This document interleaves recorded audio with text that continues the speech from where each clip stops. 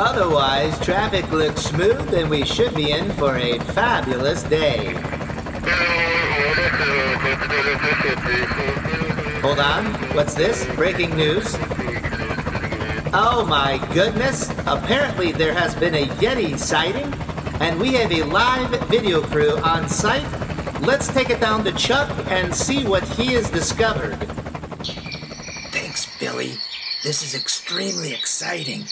We have an eyewitness report that a disc golf Yeti was sighted around here this morning. We will stake out this basket as this particular Yeti is extremely proficient in putting. Whoa, what was that? This could be him. It is him. Excuse me. Yo, Yeti. We'd like to know what you throw. Yes, all of your golf discs. Sweet as. He's going to give us a look.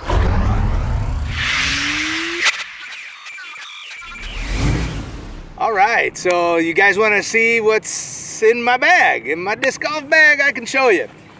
Uh, well, see, first of all, I'm, I'm super proud to be uh, carrying a, a, grip equipment bag. Uh, it's been an awesome change. Uh, I've used to use one of the longer ones uh, that kind of kept on slapping the bottom of your back, and after a end of a two-day round, uh, you definitely felt it.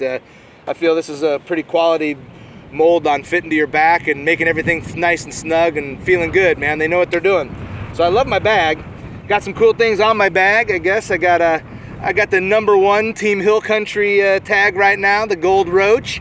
So that's cool. I got uh, my mini marker, very cool. This is from Thomas Strickland, fully loaded disc golf, very beautiful, made it custom for me. You notice it's kind of a revolver. It's got one shot left in the chamber. It's the way I like to treat everything. One shot left. What are you gonna do? So very cool from Fully Loaded. Um, let's see, Sharpie, all that good stuff. Um, how about putters? Well, I think it should be probably self-explanatory, right? Yeti Pro Aviar, love it. Uh, big props to Innova Champion Disc for recognizing uh, my third putting world title. Uh, talked about what I liked in the putter came up with an awesome mold. I backed it up by winning my fourth world title with the Yeti. So thumbs up from me. Uh, I love the Yeti Pro Aviar though. It's a, uh, it's a great disc. Uh, it actually has a concaveness to it that is on purpose. It basically lowers the profile. It tracks very good. Um, I carry two Yetis actually. And um, my philosophy there is that, you know, your putter should be just for putting. So I use a nice clean Yeti Pro Aviar just for putting. Why do I do that? It's got the same feel in my hand every single time. It's got that consistency that you gotta love about having a putter. And uh, I'm not worried about losing it because I'm just using it for putting. I'm not worried about it hitting rocks and getting ground up because it's just used for putting. You know, it's the same feel every single time. Now I do have another Yeti. Uh, this one's kind of cool custom Yeti done by an artist out of Austin, Texas. Where's my disc? This one is used uh, for driving and for approach shots. This does all the utility work. Uh, the Yeti is a great disc point and shoot. It works awesome on a forehand, any kind of angle. But for driving, a little bit of a hyzer line angle and it snaps dead straight up and this baby will go for me, you know, 200 to 280 feet on a dead straight line. I love the consistency about it. Um, fun to have custom discs. I've got some, if you're interested in some custom uh, Yeti stamps, YetiDisc.com. Disc Nation is carrying them as well as uh, all kinds of other great plastic as well. I do use one other type of putter. This is actually uh, an out of production. Uh, this is a Bulldog. A lot of newer players don't even know what this disc is when they see me use it. Uh, it's a utility for me. Um, it's really an overstable, very beefy, stiff disc. It is a great headwind putter. So when there's a nice headwind, I'll pull this out with confidence. Feels good in my hand. It's also great for hook shots, making putts around trees and obstacles, as well as for approaching into a headwind or anything that I want to go anchoring down from right to left. Uh, great, great disc with the bulldog there. I, I like that a lot. Um, let's see. See what's in my side pouches here today. Oh, nice. Well, you gotta always carry around a little disc golf trophy guy, right? Everyone's got to have a little trophy guy. Uh, keep your eye on the prize, right? That's what that's about. I mean, uh, uh, that's what we're all after is, uh, is, is, some wins and some trophies. And uh, well, let's face it, you know, I'm uh, I'm good enough and I'm strong enough, and doggone it, people like me. Let's see, I got oh, nice sub sandwich. You guys at Spin TV, man, you guys work really hard, man. Here, have, have a little lunch there. Uh, let's see what else I got in here. Oh, nice. Oh, yeah, yeah. This is very important, very important, very important. the bull, the bullwhip. I mean, bad card mates. Whoosh, discs that don't do what you want. Whoosh, very important, very important. Oh yeah, and who doesn't like a good birdie train, right? You know how it is. You go, Par birdie, birdie, par birdie, birdie. All right. Uh, mid ranges. Let's see, mid ranges. Uh, I, I, carry uh, several different types of mid ranges. Um, mostly the Rock, though. Rock, uh, one of the all-time best discs of all time. You guys are gonna drool over this one. My go-to number one. Dun dun dun. Behold. Yeti, what are you doing throwing that expensive disc in your bag? I don't know, guys. I mean, discs are made for throwing. In fact, uh, unfortunately, I just broke my first one of these, but guess what? It was a workhorse in my bag since 2001 when they first came out. I couldn't believe I had an opportunity to buy all these. The boxes came out at the Am Worlds in Nashville, and Innova brought out all these discs, and they were blowing people's minds, not because they knew what these were, it was because they were charging 25 bucks a piece who could who could afford a $25 disc in 2001 and I was a broke college kid and yeah in fact I only bought one and I actually had to write a check for it. But I threw it and I ended up falling in love with it. So thanks to some other good people like uh, Nature Boy Billy Crump and uh, Hall of Famer Dustin Don Hoffman and Justin McLuhan uh, you know they hooked me up with some some of these extras and I'm still throwing them today guys and awesome disc. This is super trusty dead straight, solid finish. Always can trust the CE1. Never around water though. Uh, let's see. My other rock then uh, would be just a Rock 3. Um, this is a good all-purpose utility type of a rock. Fast spinning, good glide. Uh, love the Rock 3. I also use, uh, when I want more glide or more of a turnover, I'm actually going to use a, a Mako. Really enjoy the Mako. I like the Coyote when it came out. Uh, the Mako seems like it's got just that little bit extra glide and it's a little more point and shoot. Uh, like it a lot. Uh, they came out some other discs lately too. The Lycan is similar. Um, the, the Dart's pretty impressive that uh, uh, when it's got a stiffer mold. Um, you know, but the Mako is, uh, feels good to me. I like a nice stiff Mako there. And then, of course, when the wind picks up and utility-wise, who doesn't like a Gator? So I, I do like a gator. Now most people are tuned into the big bead gator.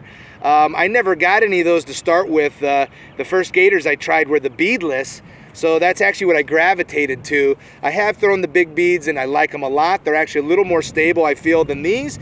But for my arm speed, uh, this does me real well for trick shots, uh, utility, kind of in the wind, great, trusty uh, upshot disc. Um, and uh, my fairway drivers then I'll go into, um, I think that the most under appreciated and underrated disc out there is the uh, is the Leopard. The Leopard, um, fantastic disc all the way around. If you play in any wooded courses at all, this is your best friend.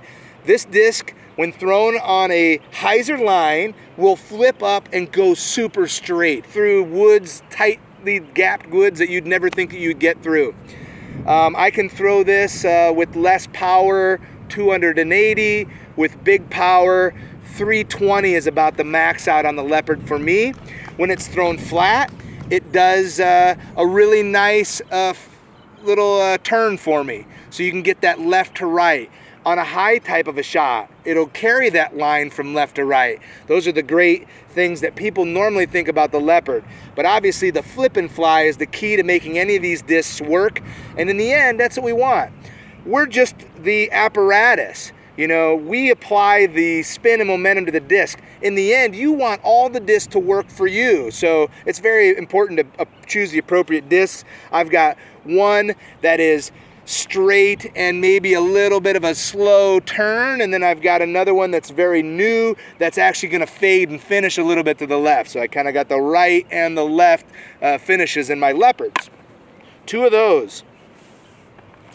Um, I've also got kind of a in-between disc that's kind of a leopard cross T-bird. Um, this is the TD, the turning driver from Discmania. Super solid. All the C-line plastic is excellent feeling. Um, some of the bigger discs like the PD2, too much disc for me. Um, one of the things I'll talk about with the drivers is just it's so important to know your arm speed. You know, they, they have so many discs that are out there. It's just absolutely key to know your arm speed because that's going to dictate what discs are going to work the best for you. The, the TD is a flip and fly straight. This will get up to 350 for me um, on that same kind of leopard line, just a little bit more. It's got a good fade. It's also got a really nice power high turnover that will go left to right for a good ways for me. Uh, that's the TD. And then uh, I carry a Roadrunner. Roadrunner, super tailwind disc. Again, flip and fly and let it go. This disc can now uh, get up to 360, even 380 sometimes with the right type of a wind. Um, little effort. Um, it's a good utility disc. People use these for rollers, uh, for big, high smashing turnovers left to right. Um, I've got a good batch of these uh, that I, I, did up with some cool custom Yetis as well. This one's from uh, artist out of Austin as well, Zam Mason. It's the Baskets Beware disc, very cool. Um, so the Roadrunner, nice good feeling there. I like the star plastic for the most part, but you'll see me use both, uh, uh you know, all champion pro and star kind of just depending on the, the plastic i really like a stiffer plastic versus something that's loose and gummy um, you know, that's all just personal preference, especially with people's different tactile feelings they have. So, yeah, let's see what's in this side of the bag here. Oh, yeah, baby. Ah, Freebirds Monster Burrito. Sorry, Spin TV, not sharing that with you. That's for later. Uh, let's see. Oh, beautiful. Gotta have the gotta have the fan beads, huh? Who that say they're gonna beat them Saints? Who that? Who that? Ah, energy. If you the sub doesn't do it, the burrito doesn't do it. I like a kind bar. These are awesome, all natural. Uh, a lot of good nuts and crunchy things in them. Those are awesome. Birdie bag when it's wet, when it's uh, sweaty, hot. Grip, control, birdie bag. Gotta have that in the bag all the time. PDGA rulebook. I can't believe how many people don't carry this. What's going on? You call yourself a professional. It's all right here. At least know the rules. Uh, let's see. Oh, this is cool. Nice. These are awesome. This is a, a small axe, uh, little combined putter uh, and driver from Disc Nation. These are awesome. I carry uh, my LED glow lights in there. Haha. Got $5. It's for your next ace. Do it. So very cool. That's awesome. That can be got at Disc Nation. Those are cool. Uh, and uh, this is also important as well. Little utility bag. Got some uh, alcohol wipes. Got some uh, you know band-aids type of stuff. And if you're not clued into uh, liquid skin, this is an awesome invention here. It's a kind of a liquid emulsifier that uh, it's an antiseptic. Anytime you get a cut or something like that, you can put that on and it'll basically form a new layer of skin so you're not constantly, if you got cracking hands or anything, super liquid skin. And yeah, let's see what we got in here. Drivers. I carry a good number of drivers, but um, you know, really it boils down to just really a few couple molds. Um, I'm a I'm a huge fan of the of the T-Bird. Uh, you know, between the Aviar, the Rock, and the T-Bird, you've got the greatest three discs that have ever been uh, made in the triangular beveled edge. Um, Ken Climo uh, basically won most of his world championships using the T-Bird and the Rock and the Aviar. I mean, that, you know, what better, uh, what better uh, uh, accolade do you need than that?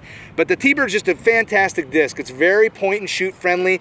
They make a lot of, Innova Champion makes a lot of different types of plastics and molds in the T-Bird because uh, it's such an all-around great disc.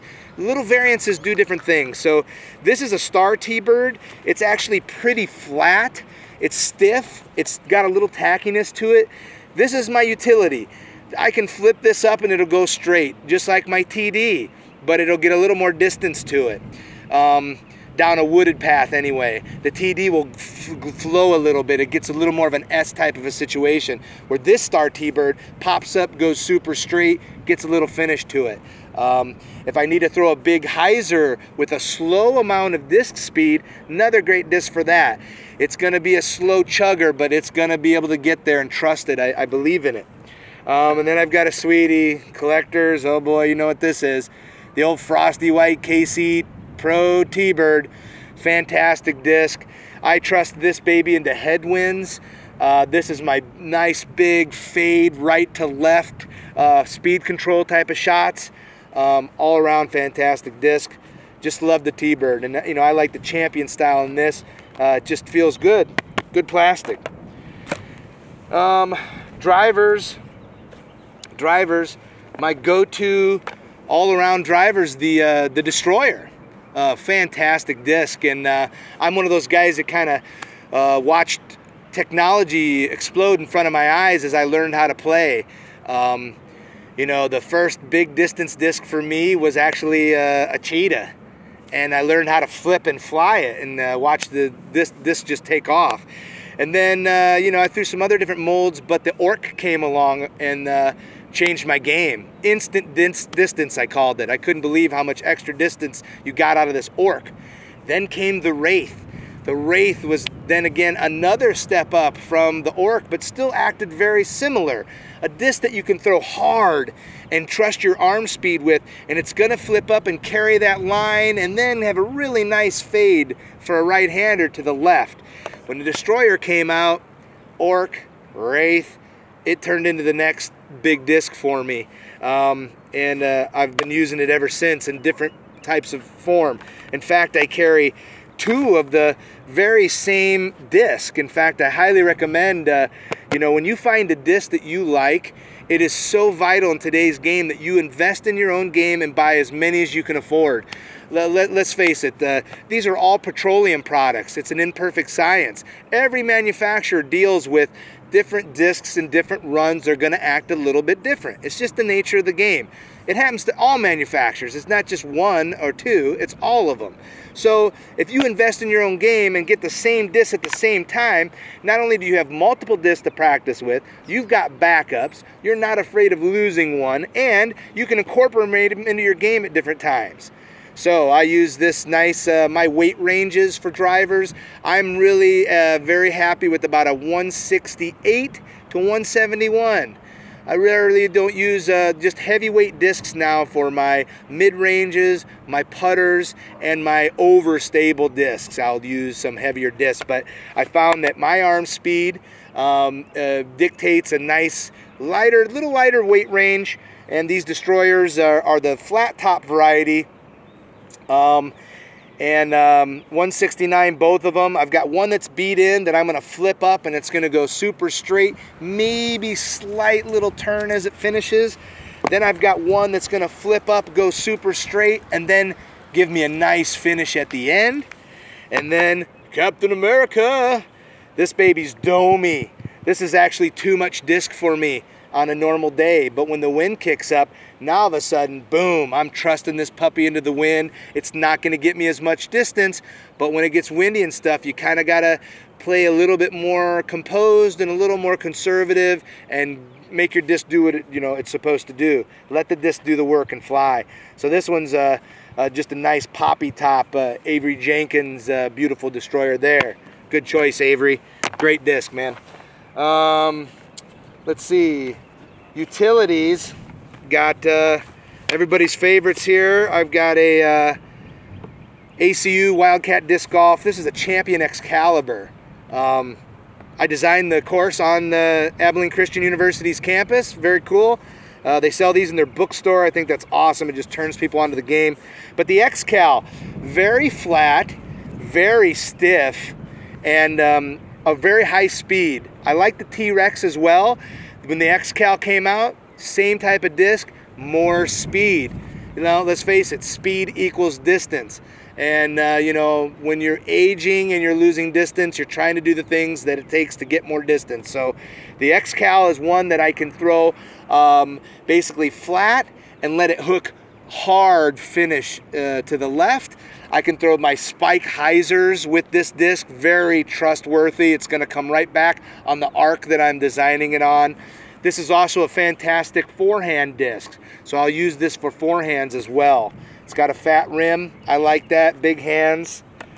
And then the old trusty, eh, Firebirds of any type, really. I happen to have, uh, you know, some of the good old C plastic still. So nice flat Firebird. Uh, it's, it's, here's an interesting thing that's happened in technology. You know, it used to be all the rims were about this width, and uh, in generalities, the the less width in the rim of the disc and the flatter the disc, the more stable it is. So with Firebirds, when you get a domey Firebird, it might be overstable, but it's gonna have a little more glide to it. The flatter Firebirds are gonna be very overstable, dramatically. Versus now we go to the wider rim discs and technology changes that with the physics. As the wing starts to bend down and be wider, the more dome on a wider disc equals more stability. So that's why we get those poppy top destroyers are way more overstable than the flat versions. So I like a flat Firebird. Again, utilities. I'll use this in the woods. Skip shots, forehands that I need to go straight first and then hook up. Um, I don't throw very many of them because it's really hard on your rotator cuff, but uh, uh, thumbers, uh, things that, that I'm in trouble with utility wise. Um, I use a thinner rim disc because it feels just much better in the power central of the hand right there. Um, so those are those. And then I got a couple distance drivers um, that I use, um, including the, this is a Champion Katana, flat. It's got the wider rim, but it's flat. So it's actually very stable. What I use this for is, is this is a good S-shot type of disc. Sometimes you're dealing with holes where you actually need it to go to the right, but then come back to the left. I can trust this disc to flip up, go to the right, but always come back. It's got a good speed to it. It's a champion katana. Very different than the star katana and even the pro katana.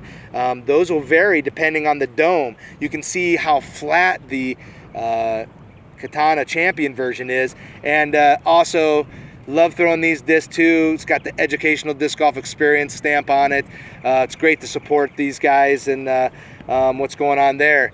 Edge, if you don't know them, uh, check them out. It's helping grow the sport for all of youth uh, out there. In fact, um, just last year, Edge uh, put 10,000 lightweight discs into kids' hands. I think that's just amazing when you consider that each of the, most of those discs went to schools, five to 10 kids through each disc. Uh, Edge affected tens of thousands of our future of our sport just last year. Go Edge. And um, probably the newest disc that's made my bag. A lot of the new discs, um, you know, I love them. I try them out, but I've got backups and I'm, I'm tried and true on a lot of my things. But uh, uh, instant game changer for me is the is the Tern. Um, beautiful new disc and for Innova Champion. I love the Tern in the Jolly launcher plastic. Very stiff. You can see it's got a little dome to it, um, but it just feels great in my hand. Beefy. It's got a medium width on the rim, but this type of Tern, um, basically I describe it as a super fast, super glidey T-Bird. It's got some of those same characteristics. I can flip it up and let it fly. It's gonna do a little dance, but I'm gonna get major distance based on the speed and the glide of the disc. A great disc for medium arm speed guys. You're not gonna see some of the, uh, you know, super big arm guys like Avery Jenkins and David Wiggins out there. You know, they're not gonna throw this type of a disc unless it's a tailwind because they've got fast arm speed. I can't stress out how important it is to learn and know your arm speed because it really becomes a, a key to the door of the plastic world. If you're throwing discs that are way too stable for you, you're not doing yourself any justice. There's two big tips right here. You want to use the least stable disc and the lightest weight for your arm speed. You know, that's a variable. So once you learn your arm speed, you're gonna start dialing in these different types of discs that you can go throw like that and let it flip up and again, let the disc do the work, right? Um, I also use a, an EcoStar Tern. Funny, same, same disc, but the plastic makes a difference. Jolly Launcher Tern, very stable um, comparatively. I wouldn't throw the Tern in a headwind, in any headwinds, because they do have a negative two on it. In fact, the Star and the EcoStar have a negative four. So that shows you how the plastic can impact the stability of the disc. It's a 12 speed, it's a six glide, but it's a negative two here, which means that um, if I threw this out of machine, it's gonna go negative one, negative two, plus one, plus two. Whereas this disc is gonna go negative one, two, three, four, and back one, two. So potentially much more distance, especially with the tailwind, but also a little less control.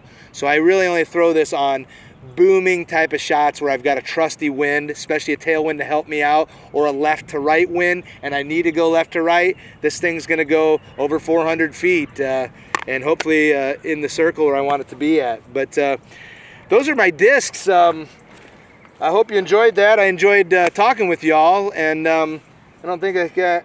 Oh no way! I do. You got to be kidding me. nice. this is a Torchy's taco left over from uh, the weekend. Uh, well, this is over, right? Are we done here? All right, cool. Hey guys. Oh man, this is good.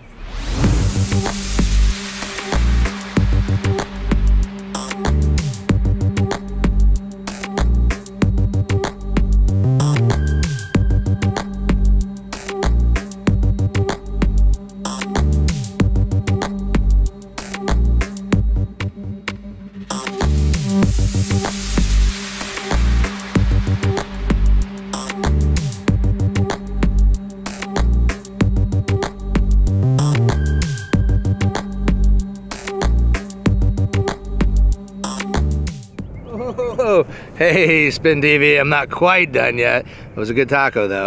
Uh, I, I really have to thank Innova Champion Disc from everything that I've done in my uh, career. It's been uh, awesome to have super solid, consistent plastic to be working with out there. Uh, they, they just support the sport so much, uh, and myself and uh, and Des. Uh, they're, they're, great, man. I got to give them props.